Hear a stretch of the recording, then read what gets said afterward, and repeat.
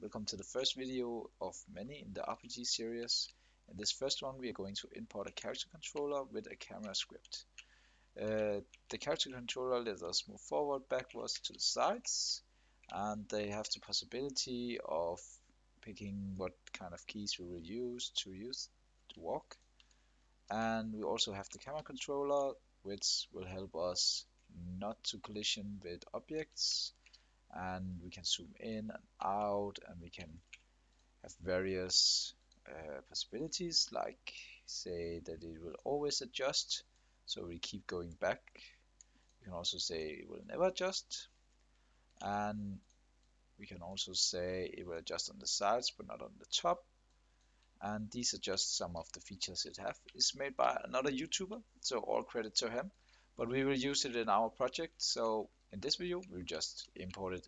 So first off you're gonna start making a new project. So you go here new project you 3d core give it a name. Could be my first rpg game. You create the project. So when the project is opened you go down below this video and you download the file.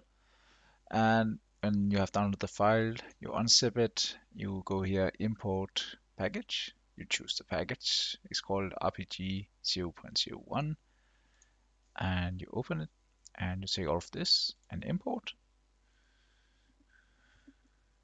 There and then you open the test scene. And in the test scene you see we have uh, the player and we have some terrain. Um, and that's actually all there is and the player you can control it with W, S, A, and D. You can strafe. You can turn around like this. Um, but what you need to know is how to change all of this. So in the player, you can change the controls of how you move forward, backwards, rotate. In here, you can see if you are jumping. You can also uh, choose new jump speed, jump height, um, the run speed, base speed, rotation speed.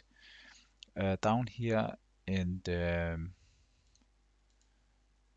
uh, let's see where did that go for some reason our camera rig went out but it needs to be here and the camera rig you can choose the collision cushion um, and you have the clip cushion so what that does is when we are over here.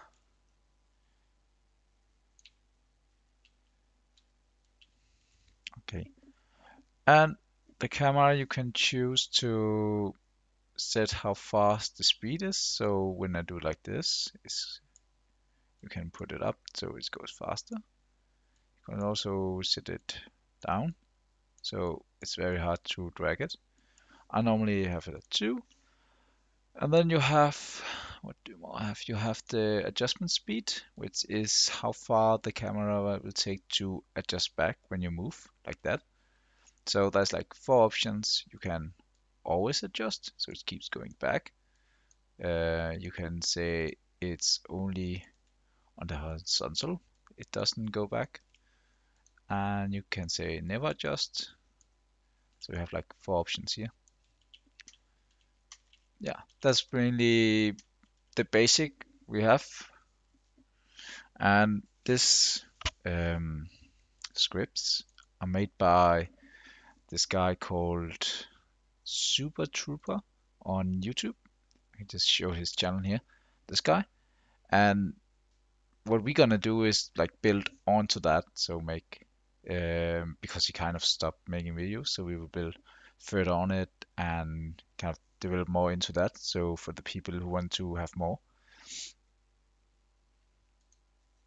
So the plan is like in the next video we will start to do a little bit with the selecting other units and auto attacking and then after that we're gonna make some animations and take it from there.